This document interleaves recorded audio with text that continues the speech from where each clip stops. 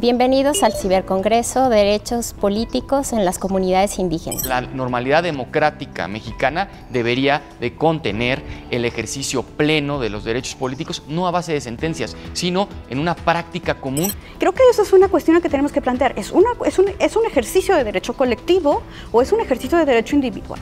Tenemos que ir hacia el derecho de la participación amplia de mujeres y hombres en las comunidades indígenas en el diseño de la política pública. Bienvenida la, la creación de partidos indígenas y, y, ojalá se vayan fortaleciendo, pero si desaparecen no pasa nada, son ejercicios democráticos de ciudadanía que se está organizando.